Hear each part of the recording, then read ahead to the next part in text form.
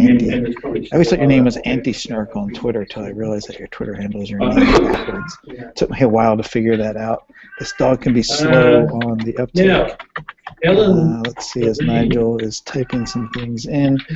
Apparently, I'm going to have to try to Yeah. talk our way through. Uh, no, not hearing anything, Nigel. to find a bit of Uh, nothing, Ellen is recognised for the Let me just check my sound, of new technologies because I'm doing this crazy thing. So you should be coming from SoundFlow64 in. Yes. 1960, uh, no, no, sorry, early 1990s, I didn't wear my glasses. Hmm. you know. Uh, and is the early See, uh, proponent of blogs and RSS. Maybe it's my setup. Hang on. Uh, most recently, he's been the instructional technology specialist at the University of Mary Washington. Check. It's actually um, my situation. Let's see. One of his most recent interests is new forms of web storytelling. So that sounds like it would be very interesting. He shares his ideas and discoveries at Cog Dog Blog and cogdog.it. And uh, he, Alan likes I got your audio. Uh, storytelling, hiking, coding, and the Who. So Alan and um, Nigel are going to tell us about new educational approaches, the case of DS106. Thank you, Nigel.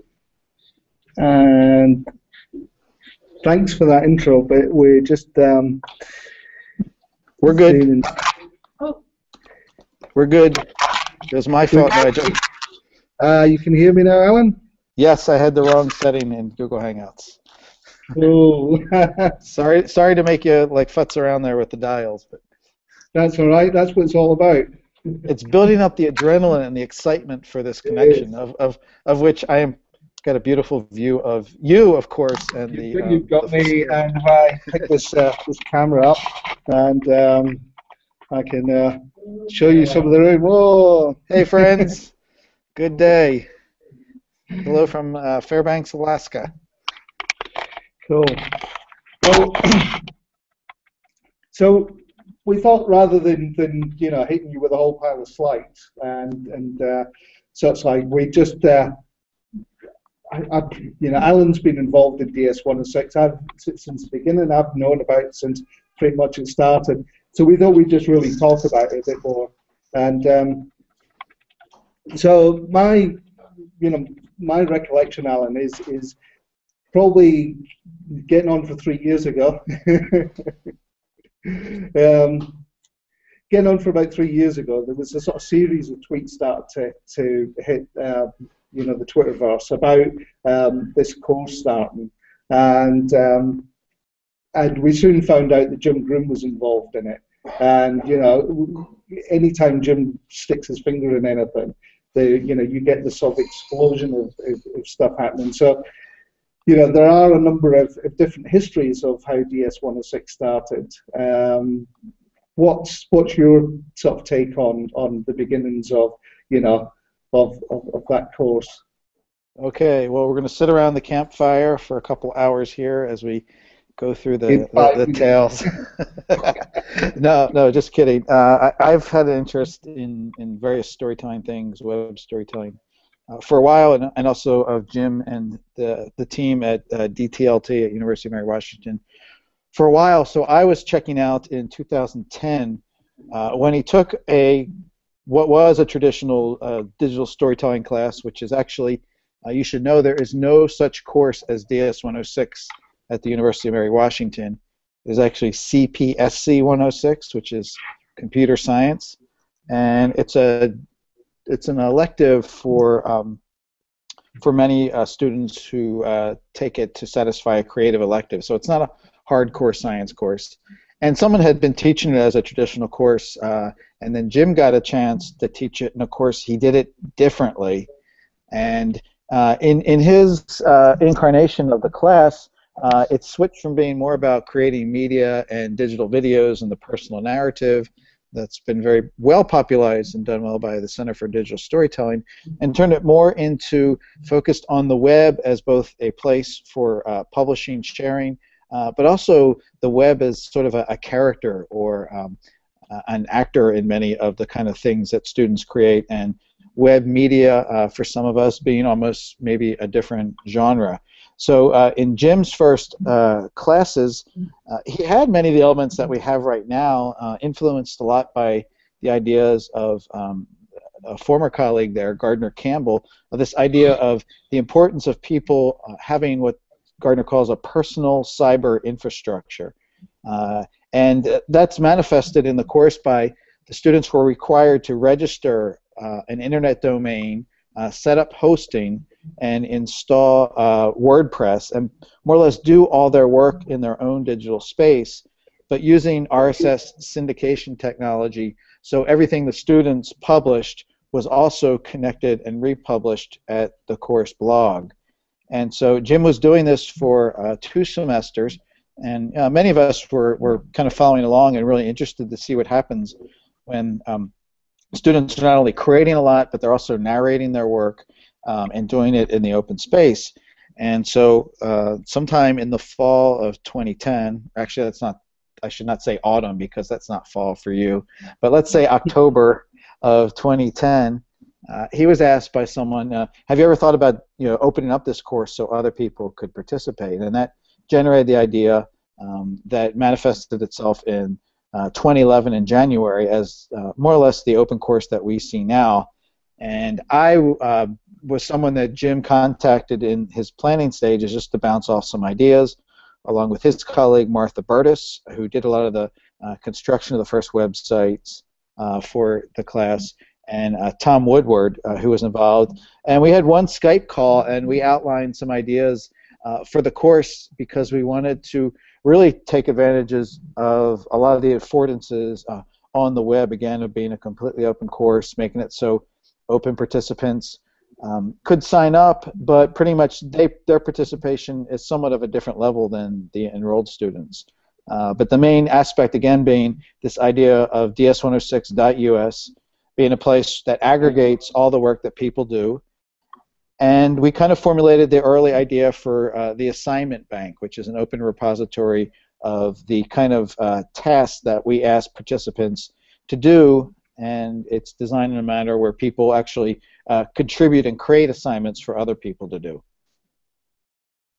Hmm. And uh, so I, then I was one of the people who participated as an open participant in uh, 2011, and uh, I also uh, worked for six months at Mary Washington and taught it in person in 2012, and have taught it online several times since then as well as um, got myself involved in working on the WordPress site. So I, I can't really seem to stop uh, wanting to be part of, of DS106, and that's that is one of the characteristics.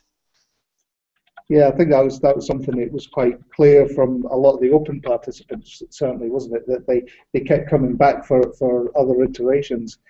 And in terms of those those early days, or you know, I think one of the things I remember and, and I find it quite interesting was that, that not only was that running out of University of Mary Washington, but other people who participated in those you know first couple of courses then actually took that idea and started to um, push that out of their institutions. Um, so Michael Branson Smith's um, in um, New York, is it? yeah, yeah. Um, and um, uh, various other people, you know, had that same idea, not necessarily to do exactly the same course, but to, you know, to take that model.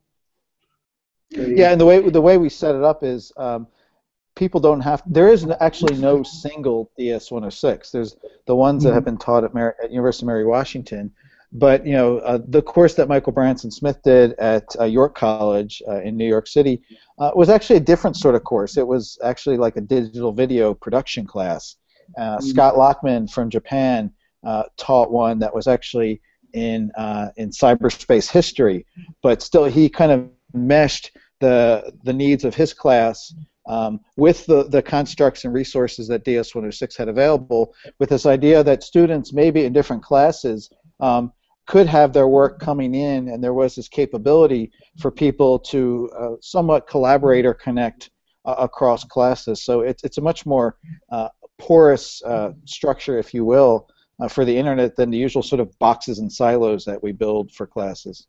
And I think that's, I mean, that's one of the reasons I thought it would be interesting to talk about today, because it isn't just about, you know, okay, if I'm doing digital storytelling, then I could possibly use this. It's about, you know, I think the model that sits behind this. So, I mean, in terms of that, you know, it, do you want to describe, let's say, some of the know, pedagogical approaches, some of those networking uh, approaches that, that exist within the course? Sure. I mean, again, a piece of it is is the um, the students not only publishing their work, and a lot of times in a media class, when you give students assignment, they'll create a video or sound file and they'll post it on their blog, and that's all there is. Well, that's not really good enough in our classes. So, uh, kind of a not quite a rubric, if you will, but uh, when I teach it, and, and, I picked this up from, from Scott Lockman and, and adopted it, uh, there's three things that I'm looking for in my students' work. Uh, one is that they uh, narrate and write about the ideas behind uh, the particular assignment. So why did they choose to use that movie clip? Or what is their relationship to it? It's nothing specific, but more or less it's like when you watch a DVD movie and then you watch the extras and you learn all about you know where the script came from and the screenplay. It's the making of, and, and that's really important for students to sort of share their thought process as they develop it. And then of course the media that they produce and it's got to be embedded into their blog so it's you know within the context of their writing and then we also want to see them write about and reflect on the process. How do they build it? What techniques do they use? What software do they use? If they used external media we want them to be um, attributing uh, the sources of their various media files.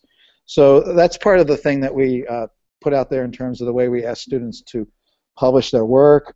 Uh, we've got the open assignment bank which is again a way uh, for rather than us prescribing all the things we want students to do, uh, they have some options to pick the things that they want to do when we get to the audio unit. They get to say, um, wow, I want to try this assignment, or this one sounds interesting. Or if they don't like any of the assignments, uh, and it's a requirement for our students, they actually create more assignments for other people to do, and we've got about uh, well over 500 uh, assignments that we've accumulated in there.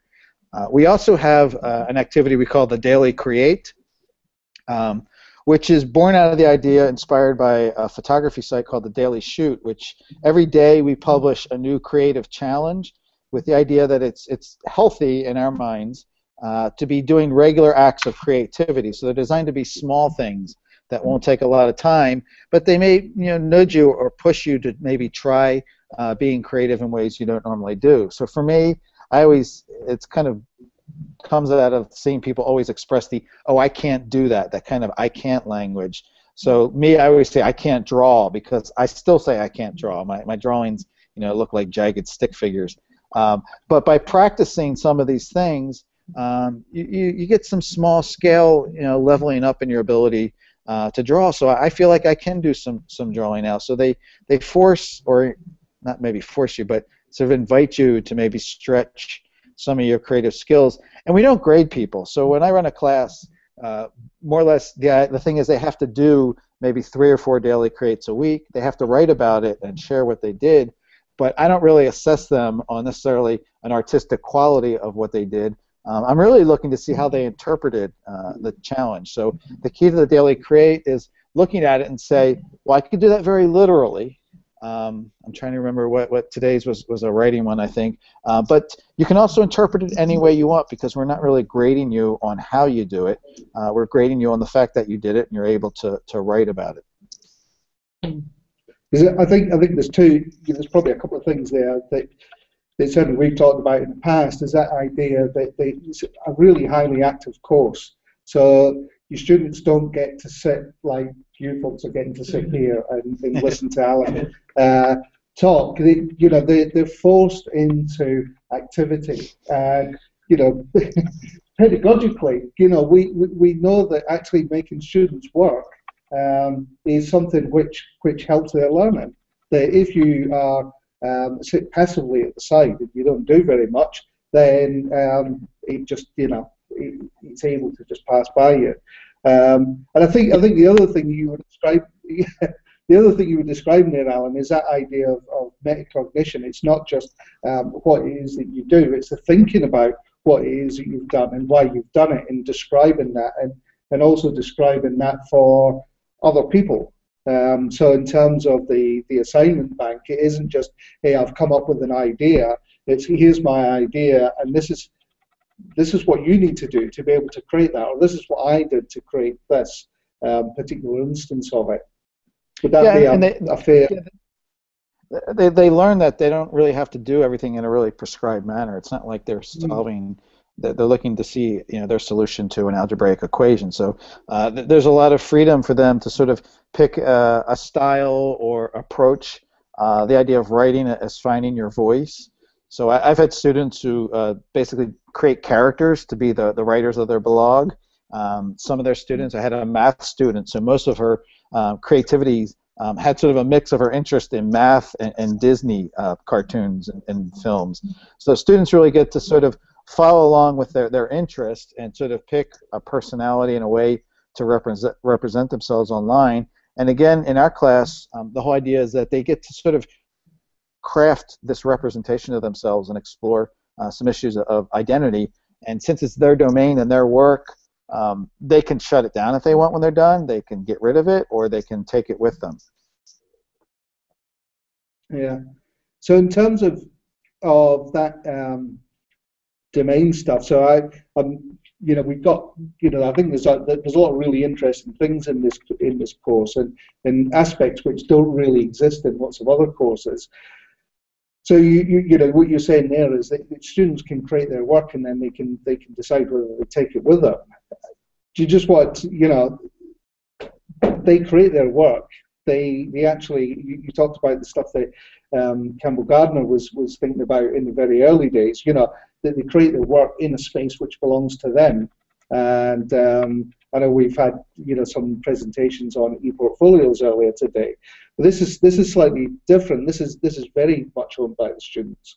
Do you want to just you know tell us a little bit about that that idea there of owning your own absolutely website? yeah and and it it it kind of turns you know what we normally talk about in e-portfolios inside out although uh, ideally it pursues this the same means to an end it's, it's a way to demonstrate the work you've done and, and your skills uh, in a way that's accessible to, to other people. Um, but it's not structured so it's it's not anything that's um, systematized. So the way you get to present yourself is completely up to you. So you end up employing um, some of your design skills uh, your writing uh, and uh, you know, and perhaps you know students are getting to think about um, what it means for their work to be uh, out in the public because that's the added bonus we have by having these open participants um, because they end up uh, giving feedback, they answer questions, they give criticism. Uh, sometimes we've had open participants mixing with our registered students on group projects. Uh, so again, it, it makes the boundary of where the class ends and this larger uh, DS106 community uh, begin much more more blurry. And at the same time, when the class ends, DS106 doesn't shut down. I mean, there's always something going on within this community, uh, somewhat strung together because of a lot of we have a lot of activity in Twitter as the glue. We've got the DS106 radio, which we haven't talked about it, which I know is, is your passion which we're broadcasting on right now. Uh, so there are these different ways that people can choose to participate. So they can try to do, they can follow along with the course stuff that's going on. They can dive in and do daily creates. They can do assignments. They can do radio. And, and sometimes there's a lot of, we call, you know, people do drive-bys. They come by and they pick one assignment and, and they, they employ it. And, and we're all for uh, drive-by visitors. We hope they wave as they go by. so Christina, did you have a question? I might have to come closer. Just hang on a minute. Yeah, bring her up there. Put her on camera. I, I saw one flash okay. by Twitter, but. Yeah, so she, she, she, she, poor Christina's lost her voice entirely. Uh, so she oh no! yeah, she's thrown. So you'll have to you'll have to read it from there. But we, I mean, we we've maybe got a couple of minutes at the end uh, in terms of questions anyway. But you know, you mentioned you mentioned the radio, and it is something which is uh, which developed. You know, it, it's, it's part of the course. It's like, hey, digital storytelling. Well, how, what are the media for you know telling stories? And radio is one of them. And this online internet-based radio station developed, which is is really become, you know, although it's it's still associated with DS106, it really has developed a life of its own. And and um, you know, I think that for for you know the community which exists around about that, it's become quite important. And you know, so there are people broadcasting on this radio station, anything you know, from music to um, sessions like this to um, sort of round the dinner table chats to, you know, walking down the street to um, confessionals to, to whatever. Um, I think, you know, in terms of the radio, we, we, we, were sort of reminiscing about some of this the other day and while we prepped for this. And Scott Lockman, who Alan said was in, in um, working in Japan, he was broadcasting, he started broadcasting his morning trips to work, and he was doing that when the big earthquake happened uh, over there. So that was broadcast live on the radio. Um, you know, there have been occasions when, you know, people have had, um, you know, family family deaths, um, you know, in you know related to uh, to people, and you know, there's been a whole what we call gathering around the campfire of, of people pulling that sort of community together um, to, to provide support. So, you know, the, the, the radio is something which, um, you know, will what I'll do maybe after this is I'll, I'll, I'll share a document with some, some links in it so folks can get to that. In terms of the, I mean, in terms of the course, um, you, you, go to ds106.us. Um, for, for the course, you, for the radio, you go to ds106rad.io slash listen, and that will let you get into to listen to it. But there was some, I think there were some other things which came out of, of, of that as well, and I'm, I'm conscious of the, the time. So there were things like uh, reclaim hosting and um, the um, domain of one's own, um, that sort of side of stuff.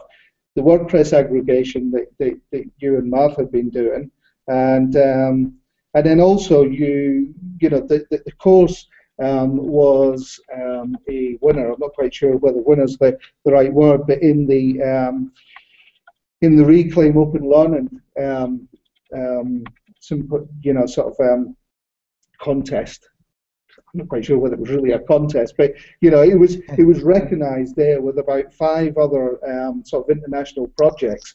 Is something which was working to um, you know, develop open learning. And I think I think for me, maybe you know, the thing I might like to just finish up or get you to, to talk about is is the importance of openness um, for educators and um, you know today and going forward. What what's your take on on that, Alan?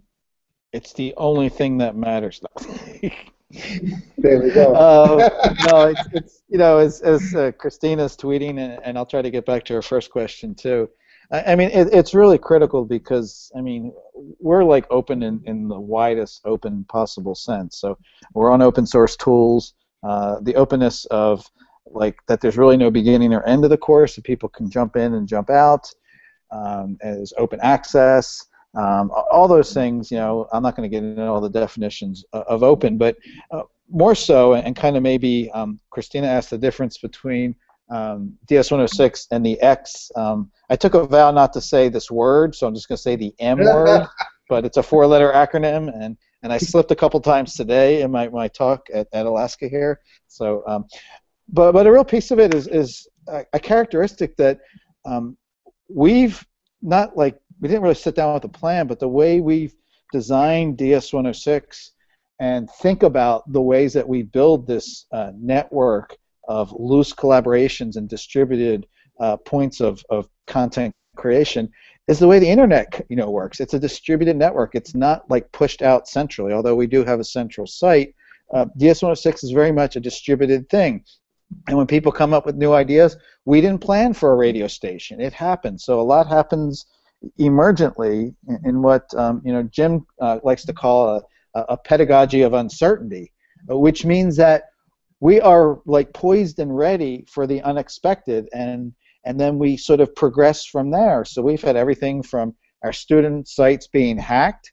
Uh, so instead of just uh, shutting things down, uh, we sort of enrolled this uh, Omre 5807 character as a character for our storytelling assignments, and students got to learn a little bit about um, even what it means to have your website hacked and then how to come back from that. Uh, so part of that is, is in the openness too of be, like being open, uh, not having like a complete rigid structure that your course is going to follow, that you're prepared uh, to sort of let it evolve in, in unexpected directions. And that's happened as students sort of come up with ideas that build off of each other's ideas, what we call riffing. Uh, the fact that we've got some open participants who create characters like a talking doll from a Twilight Zone episode. I don't have time to talk about Talkie Tina. Uh, so, and, and you can look at that and say, well, that's kind of wild and crazy, but I can't really do that in my history course. Uh, so it's not a lock and stock model that you pick up and plunk in something else. So there are elements of DS106 that could have applications in, in many places. You're probably getting the, the, the yank sign, so just, Yeah. just cut off at any time.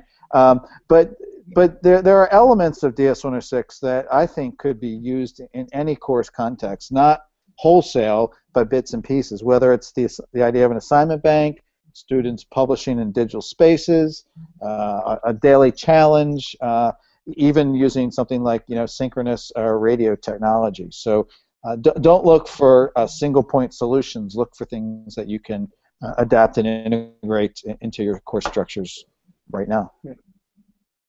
No, I think that's. Um, I, I I think you're right. There's some some awesome possibilities there, and yeah, it's, it is a case of you know what what's there to you. So we're sort of. Uh, Colin's reminding me we're running out of time, so probably need to see what questions folks have, have got.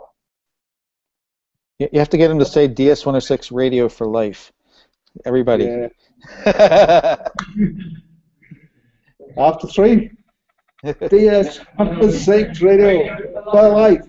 hey, I Oh, love the. Kiwis. You guys always come through. who, who, actually knew about DS106 before coming to this session? One, two, three. And at least another person who didn't put their hand up. I know Stephen Harlow's out there. So get away from him. yeah. He's a quiet one. You gotta Yeah. give He's a quiet one, but So- I, I, I expect to see all of you do the daily create tomorrow. I'm, I'm checking on you. So look, look at uh, tdc.ds106.us tomorrow and take on a creative challenge. Can you dig it?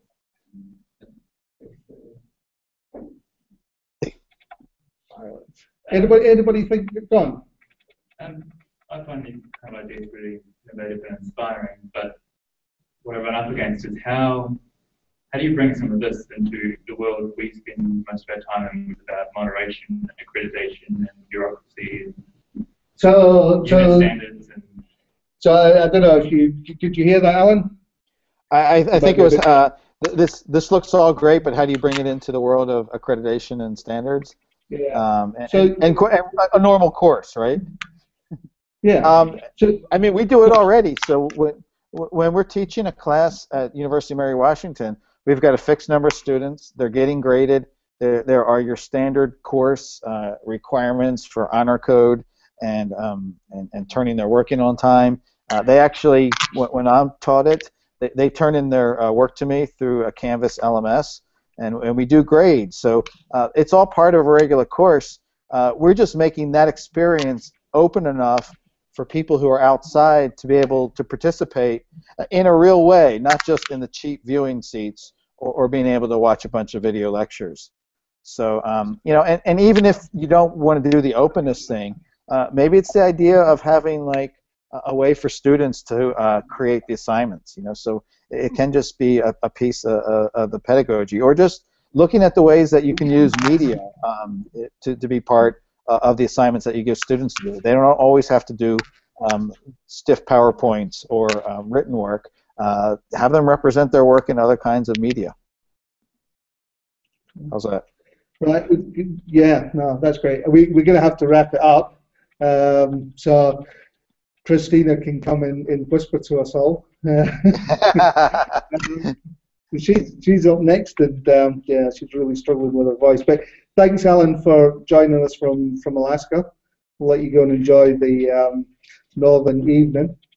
Absolutely. Thank Thank, thank- thank you. Ellen. Good to see. Thank you. I, I I think, Yeah. I think what I, what I got out of that was, is, is on, on the one hand, there's the kind of the constraints of technology and the rules that we have to live by. But we maybe need to give ourselves permission to be a bit creative in small ways on a regular basis. Give ourselves lots of permission. Yeah. Yeah, so that's what I'm gonna do tonight. I, tonight. we live in a permissive society, isn't that right? Yeah, absolutely. And where's Richard? Is he not in the room? He's, he's, uh, he's He's, where is well, he? uh, I'll let, I'll let you. Uh, hey, he's there he is. Good, good, to, good to see you, friend. They're obviously paying you too much. Uh, yeah, this, this, that, that right amount. But I, I owe Richard a lot for bringing me to New Zealand in 2000. That was a, a, a fantastic experience. He's been good to me. Another mate in there, Alan. You got uh, Mark Northover sitting in the front here. Oh yeah, hey Mark. I couldn't see you with the camera. Good to see you. Yeah, yeah, yeah. Yeah. It's like being among old friends, or not old friends, familiar friends. Thank you very much. Careful with that word, old. Good Right. See you. Ya. You good to see you. Thanks, Nigel. Yeah. Cheerio. Good luck, Christina. You'll do great.